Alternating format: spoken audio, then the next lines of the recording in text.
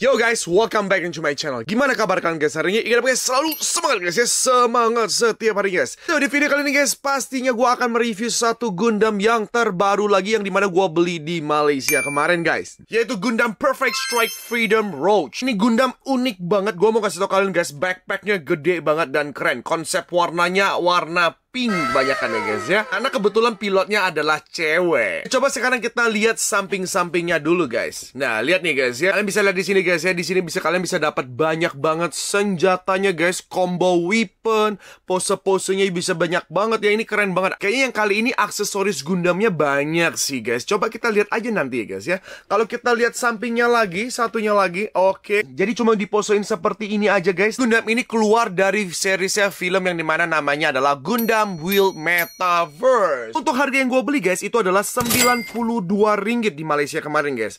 Dan kalau kita kali kurs kemarin 3.400, jadi total harga untuk Gundam ini adalah 312.800. Wow, ini termasuk murah ya guys ya. Kalau 300-an ribu ini termasuk murah. Karena di pasaran sekarang kalau di Indonesia kalau kita lihat adalah 400-an ribu guys. Jadi sekarang kita nggak usah tunggu lama-lama lagi guys, langsung kita lihat hasil jadinya. Apakah kira-kira ini memang keren sekeren-kerennya atau enggak? Lah, you ready? And let's go guys. Alright guys, ini deh guys si Gundam Perfect Strike Freedom Roach. Woi, ini keren banget ya guys ya. Yang mau gue kasih tau kalian di sini guys, ini Gundam keren banget. Kalau kalian yang suka senjata banyak, backpack gede, ini Gundam cocok banget buat kalian guys. Ini keren banget. Nah di sini gue mau kasih tau kalian guys, ini walaupun backpacknya besar banget, Lihat ya, backpacknya gede banget.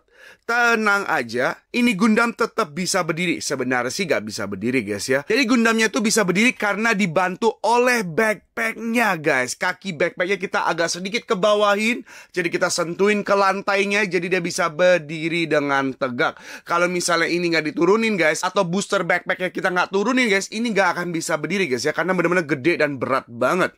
Alright, nah sekarang gue kasih tahu dulu guys apa aja yang kita dapat di sini guys. Ini banyak banget part-part yang tersisa.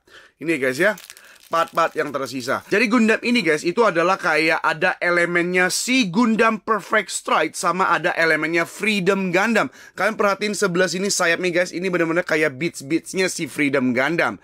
Dan juga di sini ada juga tembakannya juga guys, itu yang ada di Freedom Gundam. Jadi memang ini adalah ada gabungan atau dimodifikasi antara dua Gundam itu ya guys ya. Terus kita dapat apa lagi guys? Kita dapat satu beam shield ya guys ya, clear color warna biru bagus banget, rapi dan detailnya dapat banget ya. Beam shieldnya satu. Dan kita dapat dua pasang tangan guys. Yang pertama adalah tangan terbuka seperti ini guys. Keren banget detail juga bagus banget. Alright, dan setiap tangannya dapat punggung tangannya, jangan khawatir ya guys ya. Jadi kalian nggak perlu lepas pasang, lepas pasang, tukar-tukar, oke? Okay? Dan satu pasang tangan untuk pegang senjata sebelah sini yang gue pakein, oke? Okay? Terus kita dapat satu pasang kawat nih kawatnya yang fleksibel banget kalian bisa pose-posein gimana. Nah kawat ini untuk apa guys? Jadi kawat ini untuk dipasang ke senjata sebelah sini guys yang di mana disebut namanya adalah Rocket Anchor Panzer Aizen. Ini keren banget guys. Jadi kalian bisa pasang kawatnya. Jadi ibaratnya dia lagi tembak anchornya. Jadi kegunaannya untuk menembak terus tangkap lawannya guys. Kayak dijepit gitu. Selanjutnya guys ada yang lebih uniknya lagi guys. Kita dapat dua beam saber nih ya dua pegangan beam saber. Gua mau kasih tau kalian, ini nggak ada gunanya. Oke guys, kalian simpen aja deh. Masukin ke plastik aja, nggak ada gunanya. Kenapa guys? Kita memang dapat beamnya, kita dapat efek beam ya. Cuma ini nggak bisa dimasukin guys. Ini lubangnya nggak masuk, ya. Jadi kalian dapat satu pasang beam dan satu pasang pegangannya dan tidak bisa di kalian apa-apain. Oke, so ini nggak ada gunanya. Terus kita dapat satu pasang efek beam yang agak sedikit melengkung ya guys ya. Dan ini juga nggak tahu apa gunanya. Jadi ini buat kalian aja cadangan kalian simpan disimpan dan ini benar-benar tidak ada gunanya juga. Dan satu lagi guys, kita dapat yang namanya adalah Beam Blade Leech Fang. Nah, ini keren banget guys. Ini beamnya kecil banget, pendek, yang di mana ini dipasang di bagian lengan sebelah kirinya guys. Jadi kayaknya Gundam ini kalau mau menyerang jarak pendek menggunakan Beam Fang ini guys. Dan yang terakhir guys adalah main weapon atau senjata utamanya. Apakah itu guys? Ini dia guys. Yang paling keren, panjang, dan mantap banget. Tuh, lihat ya. Ini keren banget lihat. Kalian lihat detailnya dulu. Gua kasih lihat kalian detail ya. Detailnya ini keren banget. Gua kasih tau kalian.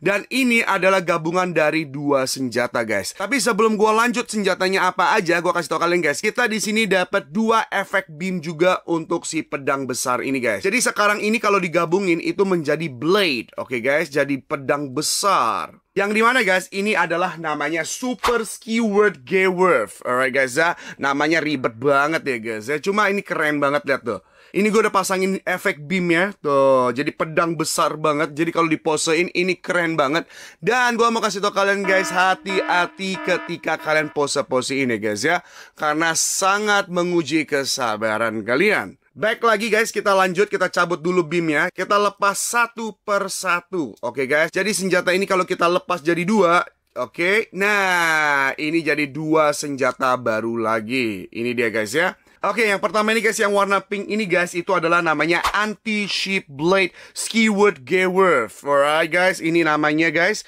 Keren ya, pedangnya bisa dipegang di sebelah sini. Alright, dipegang sebelah sini dan ini dia jadi blade-nya. Keren banget sih, ini cakep banget tuh, detailnya bagus banget. Dan yang kedua kita jadi ini, ini adalah pistolnya guys ya, yang di mana namanya adalah Hyper Impulse Gun Acne. Alright guys ya, namanya ini keren nih. Cakep nih pedangnya sampai ada detailnya juga guys. Keren banget ya. Di sini juga ada stiker kecil di sini dipasang di sini guys untuk kekerannya dan juga bisa dipegang di sebelah sini. Alright, ini keren banget tuh. Oke. Okay. Alright, kita kembali lagi ke bagian Gundamnya. Nah, sekarang akan gua bahas dalam dua bagian, yaitu backpack dan Gundamnya sendiri. Seperti yang tadi gua udah bilang kalian ya guys ya, kalau Gundam ini bisa berdiri karena bantuan backpacknya yang ada di sini guys, ditaruh di lantainya. Alright, tapi kalau ini kita angkat guys nih, kita angkat. Nih, Gua mau kasih tahu kalian guys, ini kakinya sangat loose, Nyeng, gampang banget ngangkang ya guys ya. Gua mau kasih tahu kelemahan-kelemahan dari Gundam ini ada beberapa macam ya guys ya. Jadi yang pertama adalah dia nggak akan pernah bisa berdiri dengan backpacknya dan juga kagian kakinya sangat licin. Gampang banget terbuka atau gampang banget splitnya. Oke, jadi kita langsung lihat aja satu persatu. Alright guys, ini yang pertama ke bagian backpacknya. Ini keren banget. Asli gue suka banget backpacknya. Ini padat, solid, kayak kokoh banget guys. Ini tebal banget nih. Apalagi gue suka bagian ininya guys. Nih Ya, ini konsepnya benar-benar mirip banget dengan backpacknya si Perfect Strike. Cuma efek-efek ininya guys, boosternya itu adalah Freedom punya Beats ya guys ya, atau sayapnya Freedom tuh. Keren banget, ini tebel ya guys ya, ini tebel banget, gede, enak, jadi enak dipegang guys, kokoh banget.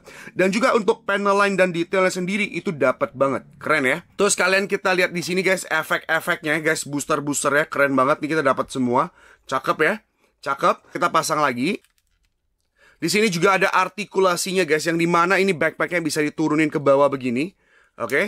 Tuh, jadi bisa ke bawah begini, bisa dikebelakangin ya guys ya. Tuh, bisa naik turun naik turun. Dan untuk bagian sayapnya ini guys, ini bagian sayapnya mirip banget dengan Freedom ya. Ini juga bisa diputar 360 derajat.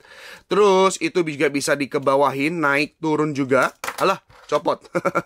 Pelan-pelan. Oke, naik turun juga juga bisa guys ya.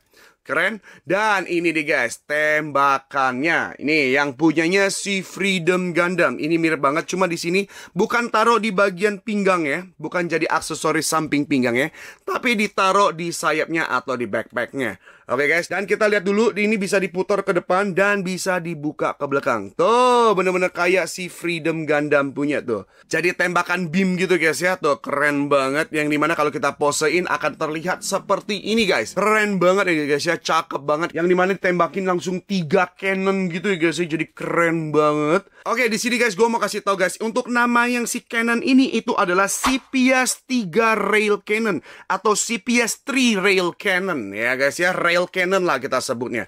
Nih, ini keren banget. Oke okay, guys, lanjut kita ke main bodinya guys ya. Ini dia si Gundam ya. Gua mau kasih tahu dulu pertama-tama guys. Gua kasih tahu kalian, kalian harus hati-hati dengan Vivinnya di sebelah sini guys, di bagian jidatnya. Ini bener-bener rawan patah. Gua kasih tahu kalian guys, ini rawan patah karena ini tipis banget ya guys ya.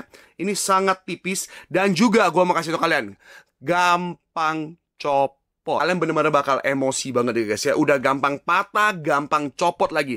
Dan di bagian pinknya, di bagian jidat warna pink kecil ini guys, ini sangat kecil. Kalau kalian copot, itu gampang banget hilang. Pengalaman gue ketika gue rakit guys, dan pose-posein ketika ini copot sekali mental, yang paling susah dicari adalah tuh bagian jidat yang warna pink itu. Alright? Kalau memang kalian tidak berencana untuk di repaint, mending kalian langsung lem permanen. Oke okay, guys, gue saranin lem permanen karena benar-benar ngeselin banget. Dan juga untuk bagian tangannya ini guys, ketika kalian pose-posein gampang banget copotnya karena ini agak licin guys. Alright, ini gampang banget licin. Alright, seperti yang tadi juga udah kasih tahu di bagian kakinya juga gampang banget ngangkangnya. Oke, okay, so far baru itu guys. Selain juga gampang split atau gampang ngangkang guys, ini kaki licin banget guys. Ini gampang banget copotnya. Alright, ini licin guys. Jadi sama-sama kayak tangannya guys. Jadi kalau kalian pose-posein guys, itu kalian akan merasakan itu agak sedikit agak licin dan gampang copot. Nah, kalau misalnya kita goyang-goyangin pun sendiri guys, itu Gundamnya nggak gitu kokoh. Oke, okay, kita goyang-goyangin ya. Lihat. Alright, tuh. Tuh, itu copot satu. Nih, kaki-kakinya juga ikut-ikut goyang ya guys ya. Nggak gitu keras. Jadi dia bener-bener... Tuh, ya. Bener-bener nggak enak banget tuh. Ya, licin banget. Untuk bagian tangannya sendiri sih masih aman ya. Allah tuh kan copot lagi kan tuh. tuh copot lagi kan. Copot terus, copot terus. Dan terus yang gua nggak suka itu adalah bagian sini guys ya. Nih, ini bagian kakinya guys. Kalau... Anu lucu banget sih. Allah Dan guys, copot semuanya guys copot yang paling gua nggak suka adalah sistem mekanisme bagian kakinya ini guys, selangkangannya. Ini akan susah kalau buat kalian berdiriin seimbang ya guys ya. Karena bener-bener kayak kalau misalnya kalian ini dorong naik, ini bener-bener naik jungkat-jungkit gitu loh guys tuh. Ini kayak jungkat-jungkit guys. Jadi kalau kalian mau lurusin, itu agak ya harus goyang-goyang goyang-goyang goyang-goyang goyang. Tuh, ini nggak enak banget tuh. Ya, connecting banget guys bagian selangkangannya. Jadi benar-benar satu garis guys. Jadi kalau misalnya satu goyang naik, yang satunya turun. Gitu guys kayak jungkat-jungkit. Dan barusan copot lagi tuh. Tuh. Ya, gampang banget copotnya. Sekarang kita lanjut ke artikulasinya. Kalau ke bagian kepalanya kita putar 360 derajat, bisa banget guys. Enak, alright. Terus bisa diturun ngangguknya juga maksimal. Alright. Untuk ngangguknya dagunya nempel banget ke dadanya. Alright, ini bisa banget, enak banget. Cakep. Dan untuk bagian shouldernya bisa putar 360 derajat. Oke, okay, kalau misalnya diangkat armornya apakah bisa? Nggak bisa ya guys ya, armornya nggak bisa diangkat sama sekali. Dan di sini bagian sini kalau kita busungkan ke depan, apakah kita lihat bisa? Sedikit aja ya guys ya, nggak banyak, busungkan ke belakang. Dan kalau misalnya ke belakang ke depan bisa tuh. Oke, okay? sedikit bisa ke belakang. Dan sedikit bisa busungkan ke depan juga. Cakep. Terus kalau kita misalnya angkat tangannya cuma bisa segini doang. Oke, segini doang. Gak gitu lurus ya guys ya, nggak lurus banget. Tapi overall masih oke. Okay. Karena di sini kan ada senjatanya juga guys ya. Di sini bisa kalian lihat, di sini ada senjatanya. Dan di sini juga ada si anchor ya. Ini kayak rifle gitu lah guys. Oke, okay, sekarang bagian bicepnya bisa putar 360 derajat.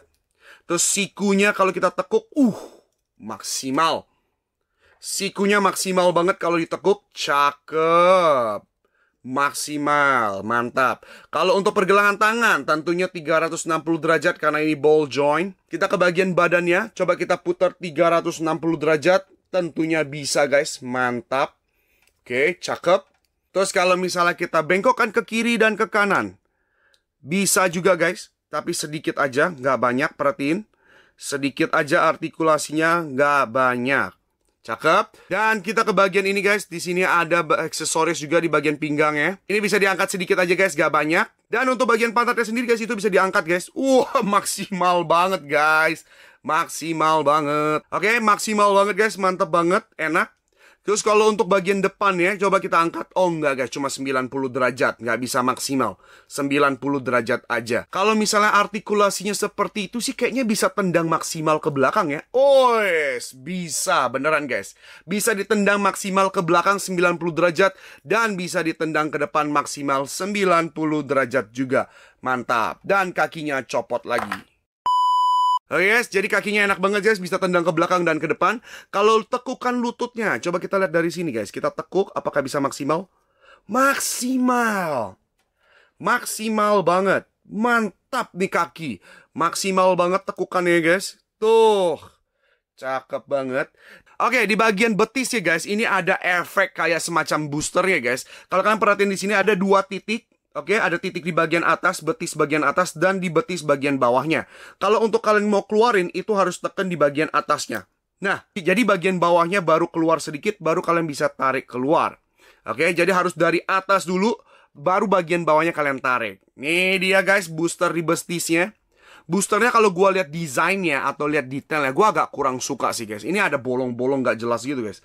Kenapa boosternya bolong-bolong guys? Harusnya kan ditutupin lebih keren nih. Tapi kalau misalnya bagian detail bawah boosternya itu memang kelihatan booster banget. Cuma di kamera kayaknya nggak kelihatan ini karena terlalu kecil. Alright guys, cuma bagian sampingnya kalau kalian lihat ini agak kurang gak enak dilihat guys. Kayak bolong-bolong gak jelas gitu guys. Jadi lebih baik kita tutup aja. Next, kita ke bagian pergelangan kakinya. Coba kita lihat, gak bisa diputar 360 derajat. Oke, okay? tapi kakinya bisa dibengkokin ke kiri dan ke kanan, alright? Tapi keseleo ke kiri ke kanannya nggak maksimal. Kita lihat ujung kakinya apakah bisa ditekuk ke bawah? Oke, okay. bisa ya guys ya, bisa ditekuk ke bawah, mantap, bisa ditekuk ke bawah. Untuk bagian tumitnya nggak ada artikulasi sama sekali. Terus guys, si Gundam ini pun kalau misalnya kalian nggak pakai backpacknya guys, itu masih keren juga guys. Jadi masih bisa kalian pose-posein guys, mantep kan? Posein pakai pedangnya, pakai cannonnya, ini keren banget. Pakai shield juga kan, tuh lihat tuh. Ini keren banget sih. Jadi kalian bisa posein dengan dua mode guys, tanpa backpack dan menggunakan backpack. Oke okay guys, overall nih guys, gue mau kasih tau kalian guys, ini keren banget ya, ini Gundam cakep banget. Sekarang gue kasih rating dulu guys. Untuk secara detail ya guys ya, untuk detail ya, gue suka detail konsepnya bagus. Panel lainnya juga ketemu banget ya guys ya, walaupun gak banyak, tapi masih overall oke. Okay. Lebih banyak lah gitu ya, lebih kelihatan banget detailnya. Jadi gue kasih nilai detailnya adalah 9 dari 10 guys. Untuk artikulasinya sendiri guys, hmm, seperti kalian lihat tadi ya guys ya, bener-bener nguji kesabaran banget, apalagi bagian kakinya, oke? Okay? Dan masih ada beberapa yang lainnya juga yang masih harus kalian perhatikan seperti yang gue bilang sebelumnya, bagian jidatnya, bagian kepalanya, vivinnya, itu juga hati-hati guys. Jadi artikulasinya gue kasih nilai 7 dari 10 guys ya. Jadi bener-bener banyak banget minusnya, oke? Okay? Tapi overall masih kalian boleh beli guys, ini cakep banget. Dan sekarang bagian aksesoris dan senjatanya banyak banyak banget, keren banget.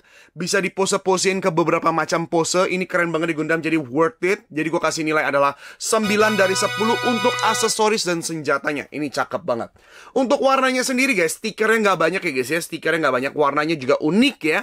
Warnanya unik adalah keping-pingan. Memang kebetulan pilotnya adalah cewek ya guys ya. Yang namanya adalah Mas Lady atau Seria Urutsuki. Oke guys, itu dia pilot Gundam ini. Ya makanya identik dengan pink, pink, pink dan merah dan putih ini semua. Tapi putihnya juga bukan putih-putih banget ya guys ya. Ada sedikit-sedikit elemen ya kepingki-pingkian sedikit lah guys. Nah, jadi untuk konsep warna sendiri gue kasih nilai 8 dari 10 guys. Gue cukup udah oke, okay, tapi menurut gue masih ada beberapa part atau beberapa bagian yang perlu dikasih stiker atau dikasih touch up sedikit biar lebih keren. Alright guys, jadi dengan harga yang 300 ribu yang gue beli guys, ini sangat worth it banget untuk dibeli. Boleh banget kalian beli dan highly recommended buat kalian untuk beli. Ini keren banget. Kalau kalian yang suka konsep-konsep banyak senjata atau bener-bener padat, backpacknya gede, nah kalian boleh beli ini guys. Ya. Ini salah satu rekomend buat kalian. Tapi kalau gue lihat market di Indonesia guys ya, harganya hampir 400an ribu. Kalau gue pikir-pikir guys, kalau misalnya gue nggak beli di Malaysia dan gue beli di Indonesia guys dengan harga 400-an ribu gue menurut gue sih masih agak kemahalan menurut gue kalau di atas 450 ribu atau 420 ribu menurut gue itu masih harus kalian pikirkan karena agak sedikit mahal. Tapi kalau misalnya kalian bisa dapat di bawah 420 ribu atau bahkan di bawah 400 ribu hmm buruan dibeli. Top banget nih Gundam. Keren So guys, mungkin sekian aja guys yang bisa gue bahas tentang si Gundam ini guys. Ini keren banget. Kira-kira menurut kalian gimana mau Gundam ini guys? Tulis di kolom komen guys. Gue pengen tahu banget pendapat kalian setelah lihat Gundam ini. Terus jangan lupa untuk like kalian di video gue. Dan yang terakhir guys tentunya apa? Share and subscribe my channel. Alright guys, so see you in my next video and have a nice day. Bye-bye guys.